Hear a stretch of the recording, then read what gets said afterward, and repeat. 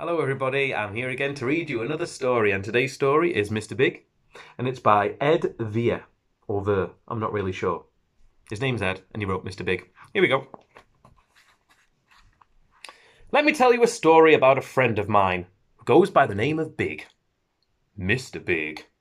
Now, Mr. Big had a small problem. Compared to everyone else, he was extremely big. So big he's tried to rip his way out of our book. He was so big that anywhere he went, all everyone saw was someone big and scary. No one stuck around to find out who he really was, so inside, Mr. Big felt very small. Poor Mr. Big, all alone. And that's how it always was. When Mr. Big went to the cafe, everyone had other things to do. Um, sorry, I just need to go and paint my fence. Um, excuse me. And when Mr. Big got on the bus, everybody else got off. um, can you just let me off here, please? Uh, my stop's not for another few hundred miles, but I'll just walk the rest of the way. Uh,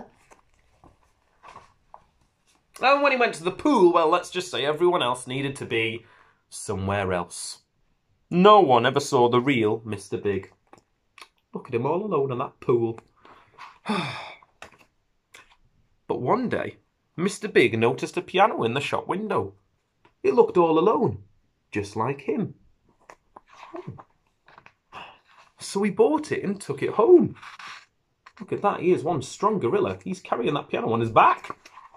I couldn't do that. As Mr. Big sat alone at the piano, he thought of all the things that made him sad. And then he played.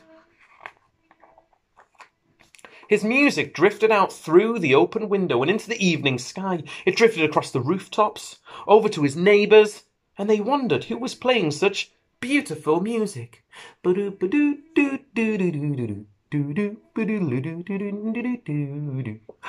Wow, hey man, that cat can play. The word spread, and night after night, everyone came from all over town, and still no one knew who was playing. It was a big mystery. Where is that Mr. Big?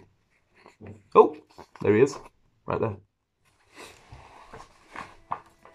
But inside, Mr. Big was still alone. Oh, look at him. He's still so sad, and he's got a tear in his eye. And then one morning, Mr. Big received his first ever letter to the pianist. And that's him. It was an invitation and it said, Dear Mystery Pianist, thank you for your beautiful music. Everyone's been listening to you for weeks and we're all wondering one thing. Who are you? Would love to meet you. Me and a couple of the guys are playing tonight at the Blue Note. Please come and join our band. See you later. A friend.